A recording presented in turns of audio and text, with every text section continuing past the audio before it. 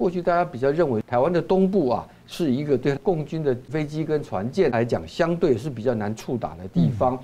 我们的这个重要的战机啊，也都在花莲花山洞啊，在那个地方当做一个基地嘛。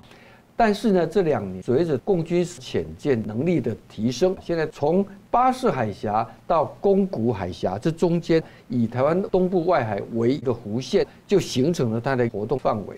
所以呢，这一次军方所透露出来的有关共军在台湾东部地区有一个推定，它是用山东舰进行外海的大演训，而且这个演训可能还是以美国啊作为假想敌，就是说有一天如果他对台湾。来发动军事攻击的话，是假想美军介入的情况。我看了一下资料，共军到台湾东部啊外海的动线呢，专家认为以我们现在国军的关通系统的搜索距离，恐怕是没有办法。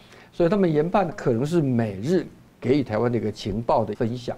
那么过去啊，我们知道在有关台湾能够得到外部支援。有一个优先要克服的，就是我们跟美国的资讯能不能连通，跟日本能不能连通。那么现在看起来，似乎美日台的重要的军情的一种连通，似乎已经逐渐的成熟了。这是第一个。那么第二个呢，也因为山东舰的不寻常的状态，而且最近呢，他们的福建舰呢又在做了，它每一艘新的航母啊，它的功能都不断的在提升。